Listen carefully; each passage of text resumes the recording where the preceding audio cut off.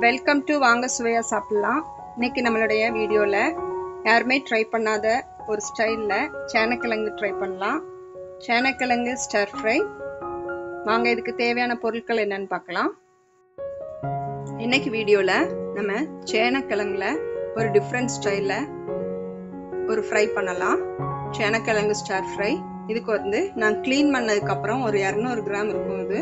இந்த சேனக்கிழங்க நீல வாக்கில் கட் பண்ணியிருக்கிறேன் இப்போ இதை ஒரு குக் பண்ணி எடுத்துடலாம். ரொம்ப நேரம் இல்லை. ஒரு டூ டு த்ரீ மினிட்ஸ் போதும். நான் தண்ணி சூடாக்கிட்டேன். இப்போ இதை இதில் ஆட் பண்ணிடலாம்.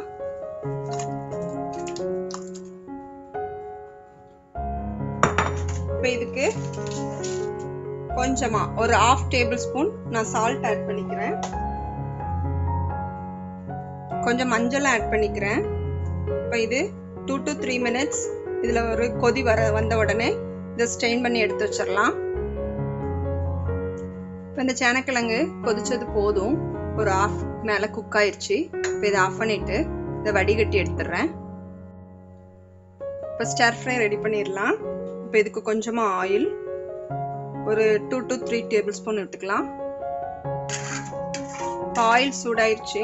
இதில் ஒரு நாலு பீஸ் பூண்டு பல் எடுத்து பொடிசா கட் பண்ணி வச்சிருக்கிறேன் நீல வாக்கில். இது இப்போ இதில் கொஞ்சம் ஃப்ரை ஆகட்டும். இப்போ இது கூட ஸ்ப்ரிங் ஆனியனோட மேல் பார்ட்டு இந்த ஒயிட் கலரில் இருக்கும்ல அதையும் நீல வாக்கில் கட் பண்ணியிருக்கிறேன். இது நல்ல ஒரு ஃப்ளேவர் கிடைக்கும்.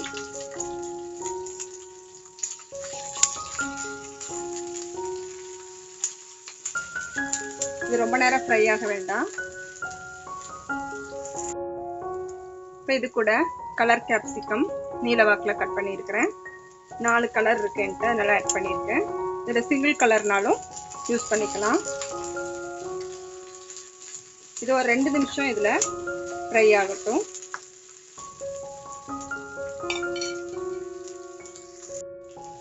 இப்போ நம்ம பாயில் பண்ணி வச்சுருக்கிற சேனக்கிழங்கையும் இதில் ஆட் பண்ணிடலாம் இதில் நம்ம கொஞ்சமாக சால்ட் ஆட் பண்ணியிருக்கிறோம் இப்போ இதில் சம் சாஸஸ் ஆட் பண்ணிக்கலாம். இதில் இப்போ நான் டார்க் சோயா சாஸ் எடுத்துருக்குறேன். ஒரு டேபிள் ஸ்பூன் லியன்பெரி சாஸ் ஒரு டேபிள் ஸ்பூன் ஆயிஸ்டர் சாஸ் ஒரு டேபிள் ஸ்பூன் இது வெஜிடபிள்ங்கிறதுனால நம்ம சாஸ் வந்து கூடுதல் யூஸ் பண்ணக்கூடாது. ஏன்னா இப்போ நான்வெஜ் இப்போ மீட் ஐட்டம்ஸ்னால் இந்த சாஸ் வந்து அதில் அப்சர்வ் பண்ணணும். ஸோ அதுக்கு வந்து கூடுதல் யூஸ் பண்ணும்பொழுது நல்லாயிருக்கும். கொஞ்சம் டொமேட்டோ கெச்சப் ஒரு ரெண்டு table spoon tomato chilli sauce கொஞ்சம் ஒரு ஒரு டேபிள் ஸ்பூன்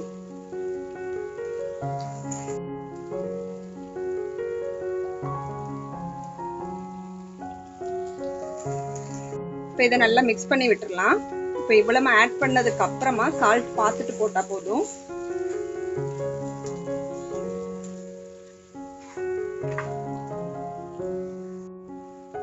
இப்போ இதில் ஒரு டீஸ்பூன் காஷ்மீரி சில்லி ஆட் பண்ணிக்கிறேன். காரம் வேண்டாம்னா ஸ்கிப் பண்ணிக்கலாம். ஒரு குவார்ட்டர் டீஸ்பூன் சால்ட் ஆட் பண்ணிக்கிறேன். சால்ட் எனக்கு கொஞ்சம் குறையா இருக்கு. நீங்க பார்த்துக்குங்க. இப்போ சேனக்கிழங்கு ஸ்டார் ஃப்ரை ரெடி ஆயிடுச்சு. கொஞ்சமா ஸ்ப்ரிங் ஆனியன் போட்டு ஆஃப் பண்ணிடலாம். அவ்வளவுதான். நம்மளுடைய சேனக்கிழங்கு ஸ்டார் ஃப்ரை ரெடி ஆயிடுச்சு நீங்களும் இது மாதிரி வீட்டில் ட்ரை பண்ணுங்கள் ட்ரை பண்ணி பார்த்துட்டு என்னுடைய வீடியோவுக்கு லைக் கொடுங்க. உங்கள் ஃப்ரெண்ட்ஸுக்கும் ஷேர் பண்ணுங்கள் சப்ஸ்கிரைப் பண்ணாதவங்க சப்ஸ்கிரைப் பண்ணுங்கள் தேங்க்யூ ஃபார் வாட்சிங்